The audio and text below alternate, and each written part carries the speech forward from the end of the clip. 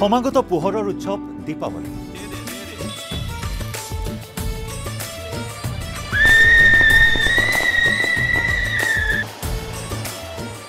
আৰু এই দীপাৱলীৰ প্ৰাক মুহূৰ্তত কেৰালা উচ্চ ন্যায়ালয়ৰ এক গুৰুত্বপূৰ্ণ ৰায় এক গুৰুত্বপূৰ্ণ নিৰ্দেশনা।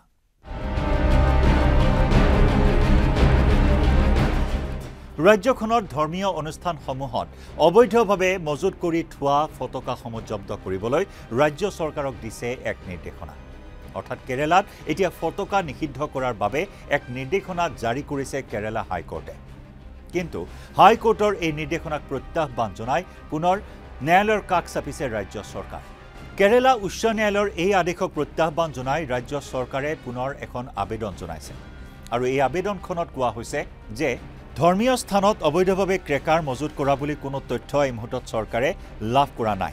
কেৰালা চৰকাৰে লগতে ইয়াকো কৈছে যে ৰাজ্যত বহুতো ধৰ্মীয় উৎসৱ আৰু অনুষ্ঠান আছে য'ত আতচবাজী প্ৰদৰ্শন এক অপৰিহাৰ্য অংশ।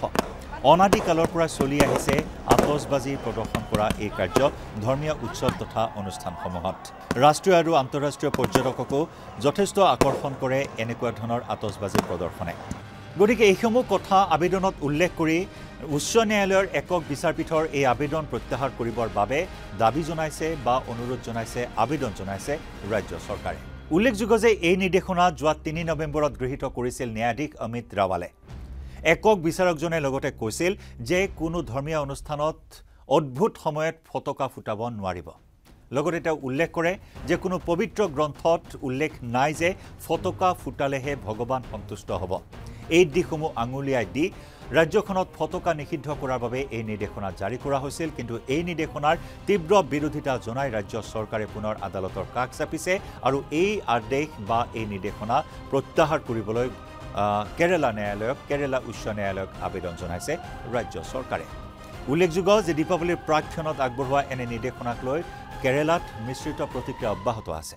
কাৰণ একাংশ লোকে আবেদন জনাইছিল যে ফটকা আতচবাজীয়ে পৰিৱেশ প্ৰদূষিত কৰে।